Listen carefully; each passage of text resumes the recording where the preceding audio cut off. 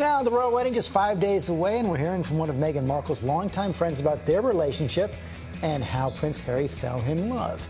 Adrienne Bankert is at Buckingham Palace with the details. Hey, Adrienne. Hey, good morning to you, George. Yes, that longtime friend talking about how she kept in touch with Meghan over FaceTime.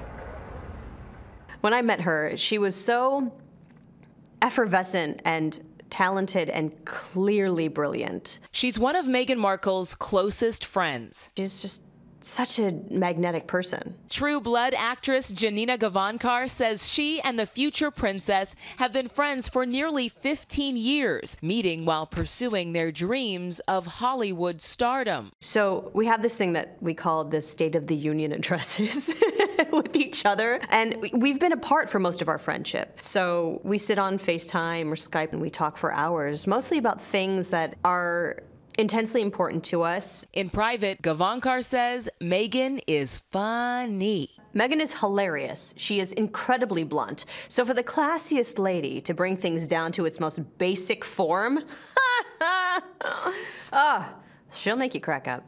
But the most surprising revelation about her glamorous gal pal? Meghan is incredibly low maintenance. Harry invited Meghan to Botswana, and it was very obvious for her that she didn't need anything. She could just go and help with the work. You know, they were staying in a tent with nothing and just had each other.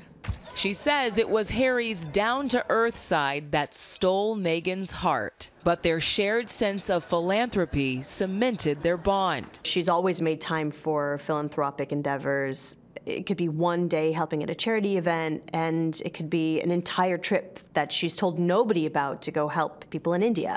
One of the things I love about both of them is that they don't tell anyone. They just go do good work in countries with nobody watching. They fell in love with nothing around them. No frills, no bells and whistles. All they had was each other doing good work in a place where nobody was watching them. They did that separately. Imagine what they can do together. And, you know, as a side note, we know that the chefs at Windsor are busy cooking the meal. Harry and Meghan have been involved every step of the way.